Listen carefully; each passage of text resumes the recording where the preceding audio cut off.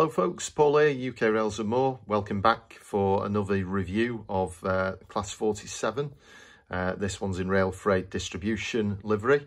Uh, and this one's going to be a new uh, member of the fleet for the new layout build, which starts later this month. Uh, if you want to know anything more about the uh, plans for the new layout and you're new to the channel, then have a look. There's another video all about the plans, which I've uploaded recently. So please feel free to check that one out. Uh, if you do like the video, please uh, give it a thumbs up. Ahead of the new layout build, I've got another couple of reviews coming soon. And also I will be doing another planning and scenic inspiration visit. That one's going to be looking at the Peak District around some of the quarry areas of Buxton and the Millersdale Monsaldale line. Uh, so as long as the weather's okay, uh, I'll be doing that one fairly soon. So anyway, enough uh, from me. Let's uh, get this one unboxed and I'll bring you back for a closer look. Bye for now.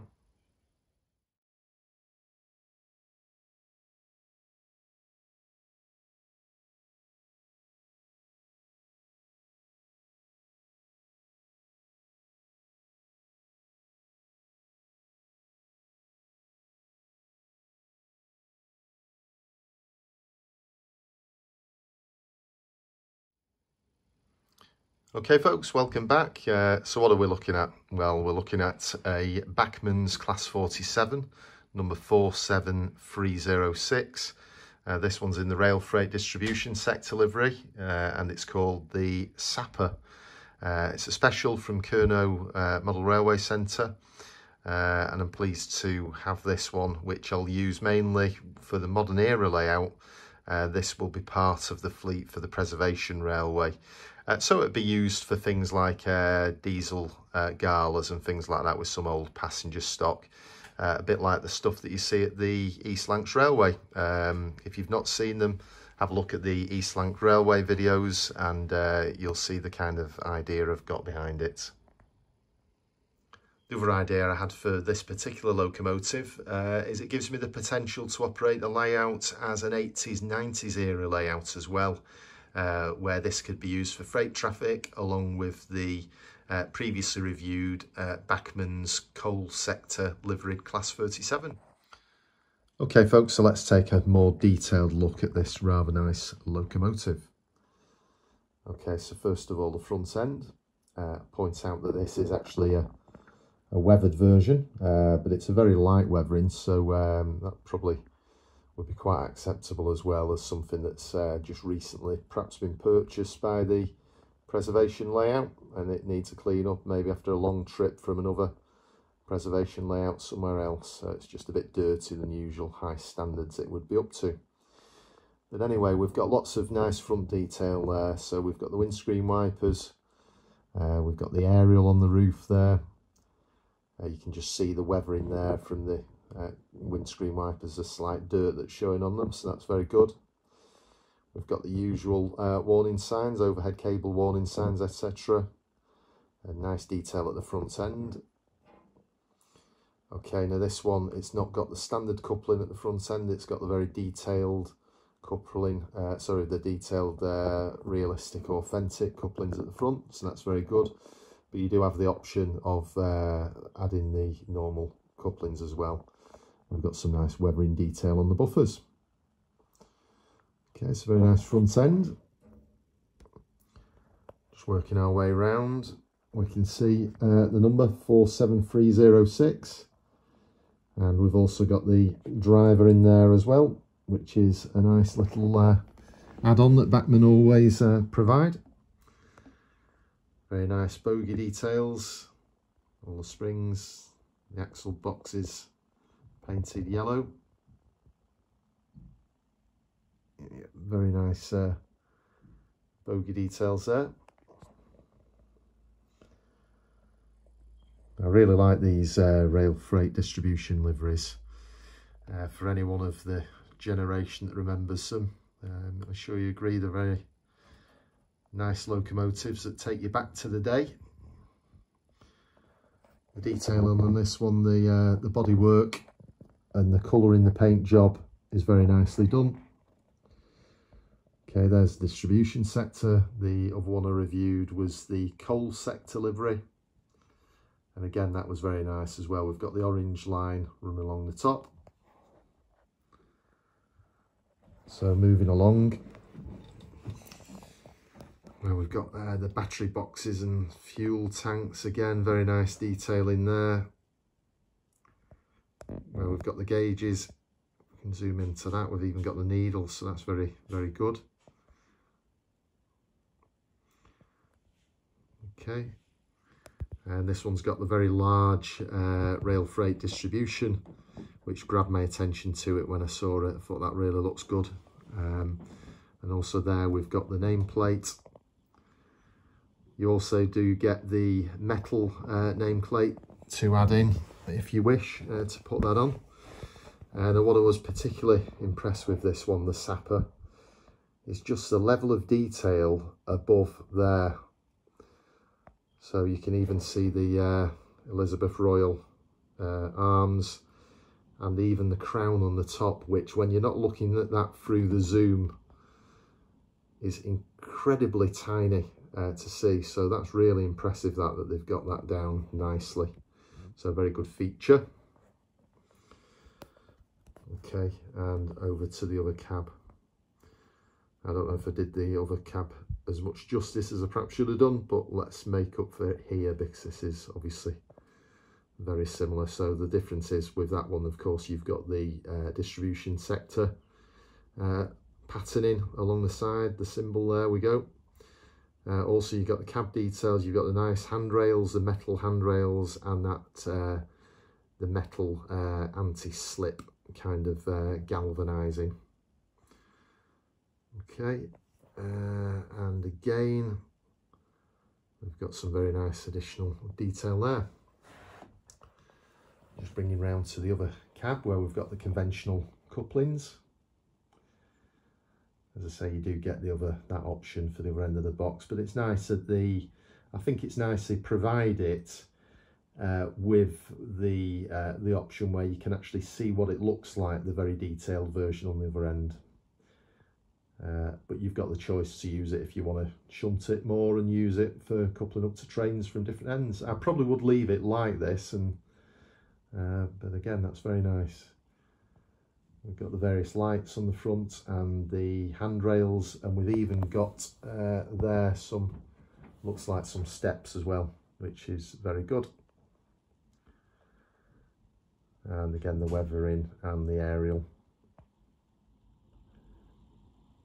there's just a view for the uh, the locomotive at this end where you can see that rail freight distribution and the Sapper symbol as well. Okay, so moving up, let's have a look at the roof. And just get this to focus in. There we go. So yeah, very nice rivet details on the various hatches. We've got the grills on the side which are very good.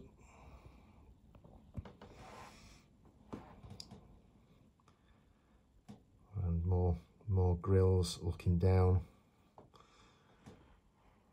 Okay, try and do this nice and steady. We've got the exhaust on the other side.